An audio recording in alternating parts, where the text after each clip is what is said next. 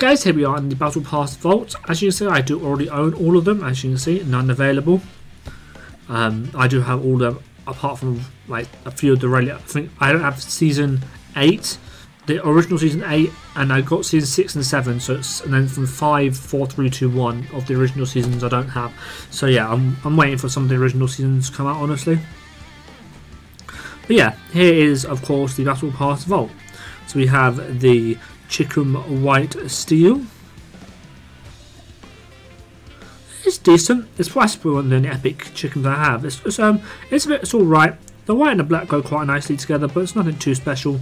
About four out of ten, honestly.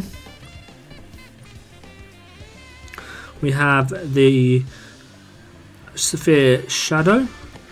Uh, gets plus points of being a gold skin, but other than that, it's really, really and boring. 3 out of 10 in my opinion. And we have the Man-O-War.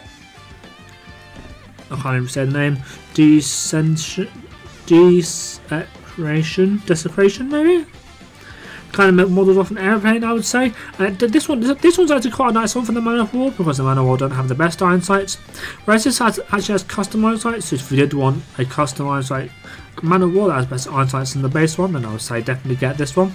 Uh, stick a, a seasonal skin on it, or seasonal hammer on it, or a bit of gold or silk, gold or platinum or whatever, or diamond even. And uh, yeah, you have quite a decent, quite a decent skin, I would say.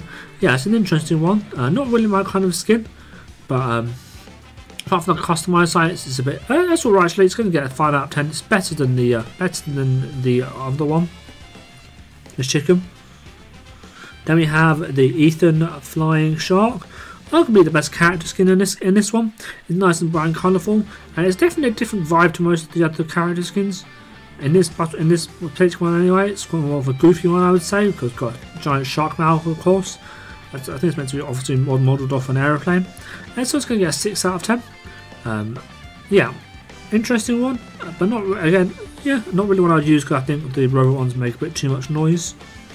Then we have the JAK-12 Peggy. This one's a decent one.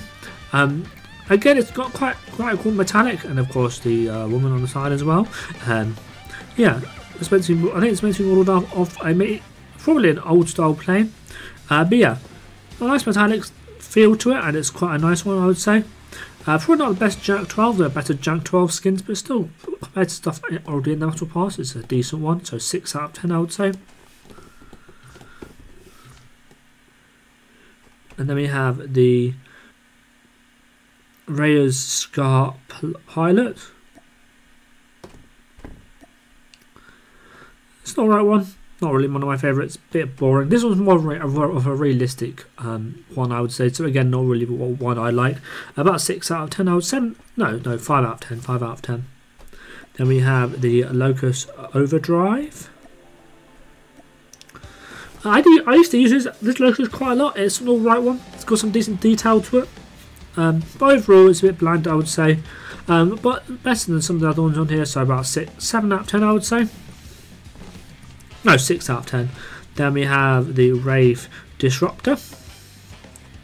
Alright, alright. Again, another female skin, so I get some plus points for that. So about a 5 out of 10. It's alright. Again, very bland and boring. Um, not really my kind of skin. If you are into the more realistic kind of battle passes, then this is definitely one for you. Or you just collect battle passes and want a new battle, or want the uh, original, some of the some of the ones you don't have, and you're trying to collect all of them, then maybe this one as well. Then we finally have the KSP uh, Oxidate, the first KSP skin. Again, this has a, this is decent because it has a custom KSP on site. So if you don't like the KSP, then use this one. But other than that, it's probably the worst worst skin in this battle, worst gun skin in this in this pass. Uh, it's four out of 10, 3 out of ten, maybe even. Uh, yeah, the only reason you use it is if you didn't if if you don't like the basic KSP iron sights. So yeah, um, four out of ten. Yeah. So overall, not really my kind of battle pass vault. Of course, I already do have it because I bought the battle pass originally. But yeah, not really my kind of skins in this one. I'd definitely say more of a, if you do like more of the realistic battle passes, then maybe you'll definitely like this one. And so maybe you might want to get something, maybe want a specific skin out of this, like such for example the Man-O-War, in which case I would recommend getting it just for that. Because the Man-O-War on this one is quite paid to win, I would say. But overall, it's alright, not the best, and uh, yeah. Definitely one that if you had the chance, I would I would I would probably skip. Um, if I wasn't collecting all the battle passes, but yeah, that's up to you, of course. Yeah, now let's get into, of course, the uh, we'll probably do a tundra gameplay, just just as gameplay, and without any of the um, the going through the tundra. I'll give, I give the tundra its own video, or when the legendary tundra comes out, I'll give it its own video then. Uh, but over, but at the moment we're um, yeah, just going to do a tundra gameplay, I would say. So yeah.